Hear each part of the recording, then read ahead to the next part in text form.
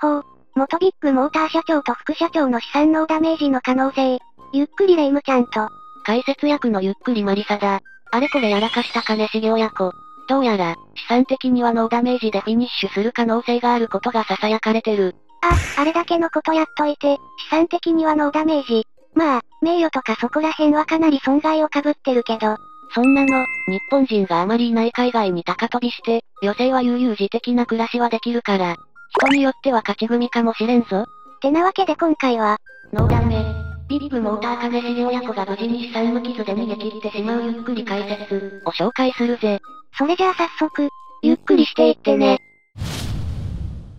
マリサ、一体全体、あの親子が資産ノーダメージでフィニッシュってどういうこと？今私は、冷静さを書こうとしている。確かに、多くのこれに興味がある人は納得できないだろうな。ネット等でも頻繁に、ビッグモーターこれは倒産待ったなしだろう。いやいや、ビッグモーターは終わるけど個人資産に移した親子たちは逃げ得だ。どうせ何一つ解決しないまま、倒産してうやむやになり終わるだろう。なんて色々と話が出てきてる。最近ではビッグモーターは銀行からお金借り入れ断られたり、大手コンサルを雇ったりと、なんとか存続を図ろうとしてるけど、まあなかなかに厳しいわよね。そうなったとしても、金重親子的には困らないんだろうな。というのも、ビッグモーターの株は非公開で、同社の株は、金重博之、高一親子の資産管理会社ビッグアセット社が100%保有している。ビッグアセットってネットのコメントでちょくちょく聞いたことがあるわね。ちなみに現在、長野県軽井沢の別荘地に、ビッグアセット社が持つ土地に金重前社長は別荘を建設中だな。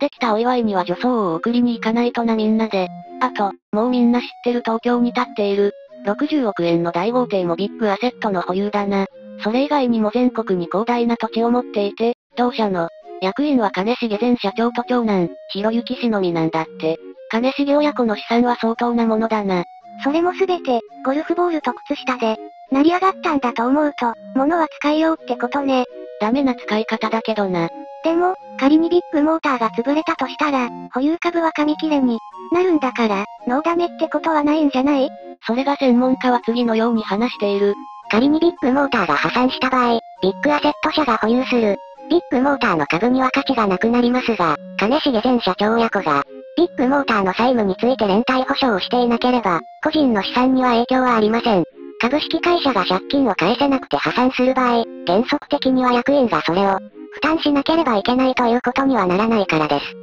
多分、ワルチェーが働く親子のことだから、こういうシナリオを考えてるんじゃないかな救いは、救いはないの。ここからダメージを与える救いは、なくもないが、不正を親子ぐるみで指示してたって証拠が出た場合は違ってくる。ただ単に会社を破産させたというだけで代表者が損害賠償責任を負うことには、なりませんが、明らかに不法な行為または不適切な職務執行をして会社を破産させるに、至ったというような場合には、会社や第三者に対して損害賠償責任を負うこともあります。例えば、現場に不正を働くよう指示を出していたり、現場が、不正を働いていることを認識できたにもかかわらず見逃していた、というような場合には責任を問われる可能性もあります。会見では前社長が従業員だけに責任を押し付けるような発言があったため、イメージは良くないかもしれないですが、本来、違法な行為に関しては違法行為を、した人が悪いということになるので、従業員が不正をしたからといって、直ちに、その会社の代表者個人が、従業員の不正によって生じた損害を、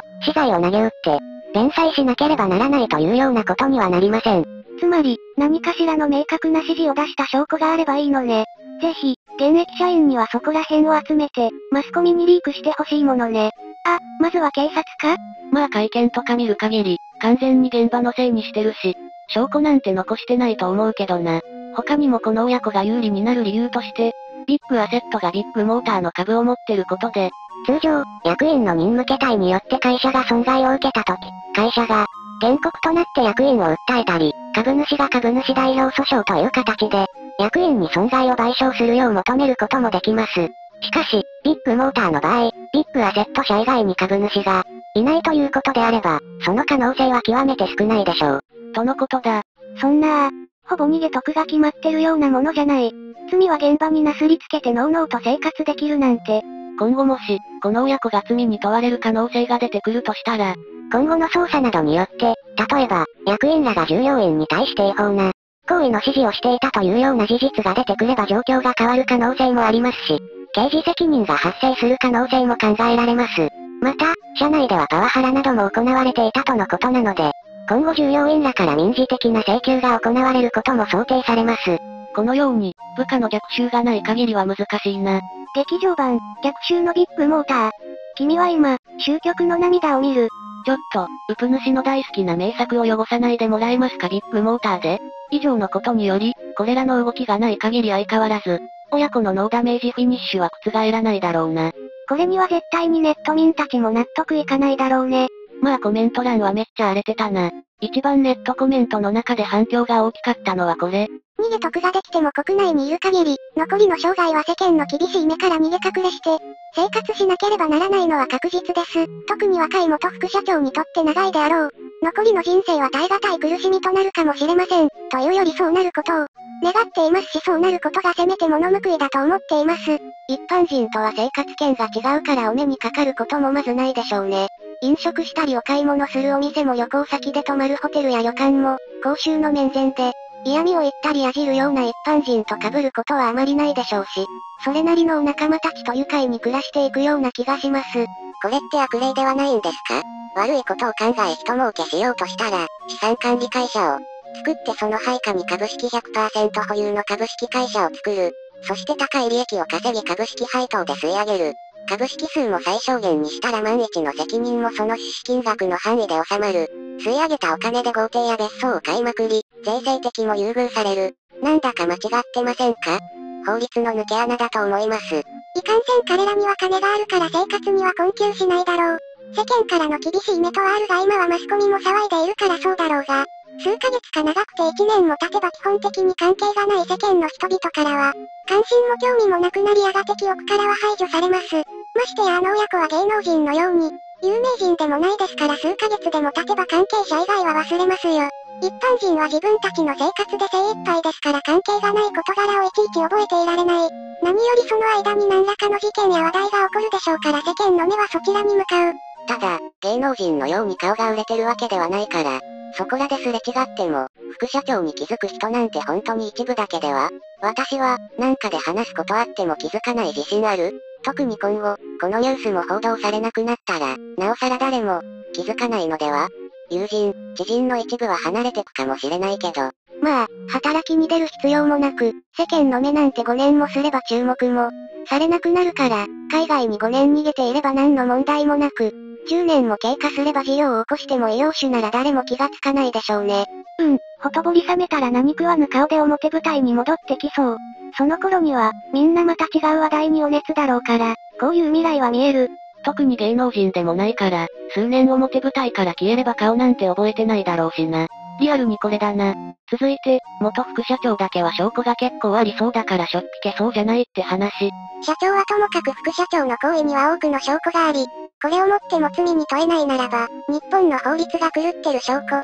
ビッグモーターに騙された消費者、保険会社、監督官庁、そして、パワハラにあった社員たち、とにかく訴えてほしい。社長、副社長にはあらゆる方法で厳しい裁きを受けさせてもらいたい。東京地検特捜部は政治家の疑惑を、扱うばかりではなく、こういう事案を扱うべきだと思う。これで従業員だけが責任を問われてこの親子が何の罪にも問われなければ、日本は金持ちやり放題のとんでもない国になってますます荒廃していく。検察はホリエモンは逮捕期そしても東芝は何もしなかったりと本当に姿勢が、高すぎて全く信用できないが、せめてこういう案件は頑張るべきだ。多くの証拠といってもパワハラライン履歴とかでは、逮捕の決め手には、ならないだろうし、従業員が行った器物損壊や詐欺まがいなことについてどこまで、具体的な指示を行ったか、これが立証できなければ証拠にはならないと思う。現在調査中の保険金不正受給で前社長、副社長の指示が明確な形で出てくるかがポイントでしょう。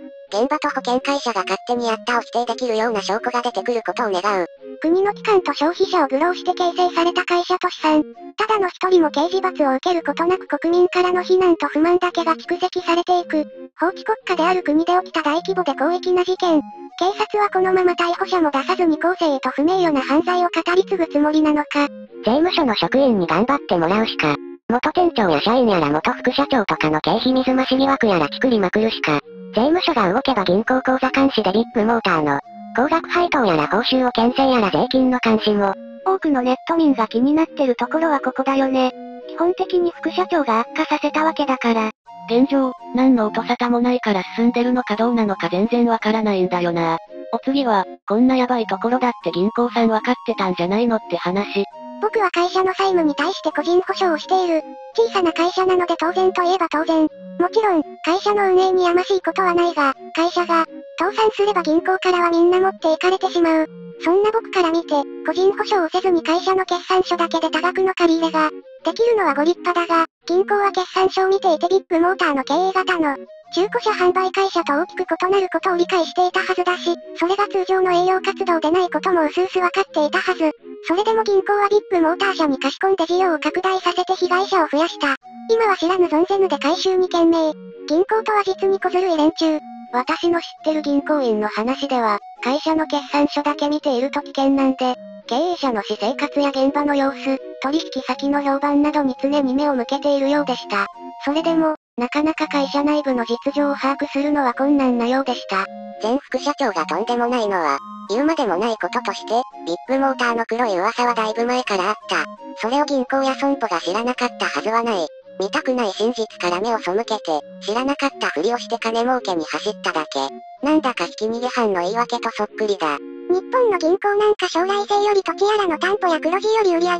売上減で黒字より赤字でも売上増をなぜか銀行は歓迎重視だもん。決算書だけ見て、そんな不正なんかわかるわけないやろ。そもそも不正があった板金部門なんか会社の売上のほんの一部なんだから。うん、さすがに銀行サイドはわかりようがないと思うけど、どうなのかしらね。皆さんはどう思いますか銀行サイドはこうなることを予期してたのかどうか。そして最後に、ネットで意見が集中してたその他のコメントを見て、終了するが、ぜひツッコミや感想等のコメント待ってるぜ。それではどうぞ。不動産、車など資産があったとしても、それを維持できる収入を維持できるのか目減りしていく可能性が強いとなると、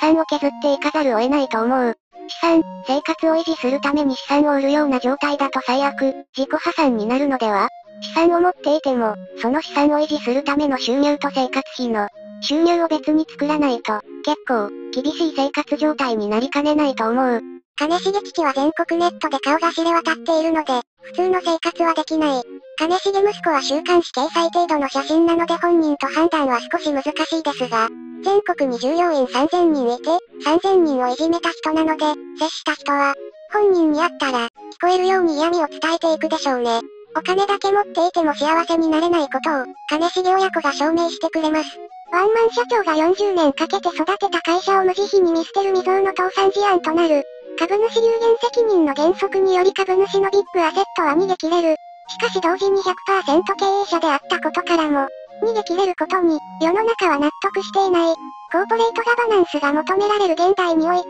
この悪しき前例を、極端な特殊事案とせずに、何らかの法整備が進むことを期待したい。東芝の旧経営陣が不正会計問題で裁判所から賠償命令を命じる判決を受けたことを考えると、ビッグモーター経営陣にも賠償責任を求めることは可能であるとも思います。そのように持っていくために賠償責任を追求しなければならないと思います。表沙汰にはなりにくいけど、こういう社会的モラルに、反した奴らは個人攻撃を受けやすくなる。人が忘れるまで我慢するか、逃げるかのどちらかしかない。ピークを超えても年に1、2回の不法侵入、器物破損、窃盗などが起きる。当たり前だがこれまで通りの生活なんてできるわけがないんだよ。金を抱え込んでひっそりと余生を送ってくれって感じ。とりあえず自分はこのビッグモーター事件は忘れない。一生忘れない。創業者一族の息のかかった会社は徹底的に避けることにする。ってことで今回の動画は以上。また次回の動画でお会いしましょう。最後までご視聴、ありがとうございました。